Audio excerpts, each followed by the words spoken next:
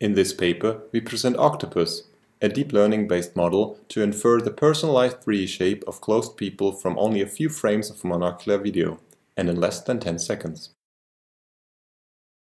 Previous work has mostly focused on pose and minimal shape variation explaining differences in bone length. Most relevant to our work, a semi-automatical optimization-based method has been presented that optimizes for body shape and clothing from binary silhouettes. However, the method has several disadvantages. Like many top-down approaches, it is highly dependent on good initialization and sensitive to local minima. More importantly, the full method has a runtime of several minutes to hours, what makes it impractical for many applications.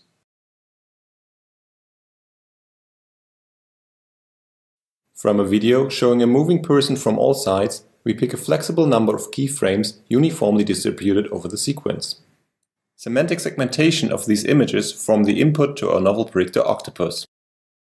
Octopus is a deep convolutional neural network that predicts 3D human shapes from semantic images in a canonical pose.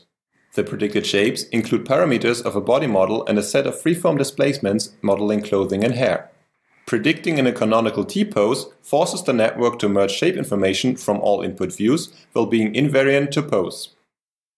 We observed that bottom-up predictions, while being fast to compute, often lack important details. However, our goal is to predict full body models that look exactly as their human counterparts. To this end, we additionally predict 3D poses from 2D joint detections for each input view. This allows us to pose the predicted shape in each of the frames and render and compare with the input images. We can now refine the shape estimations via weakly supervised optimization at test time.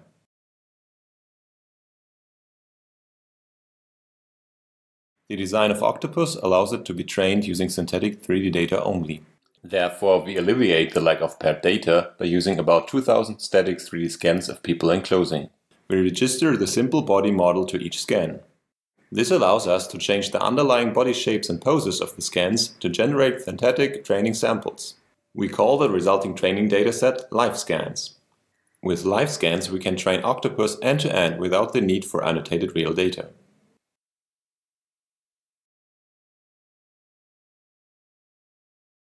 In the following we show qualitative results on LifeScans and two real-world datasets.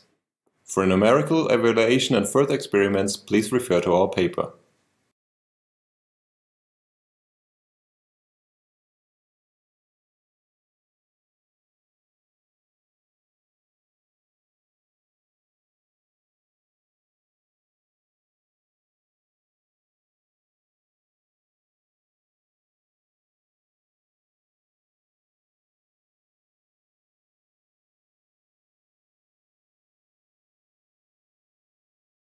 Thank you for watching.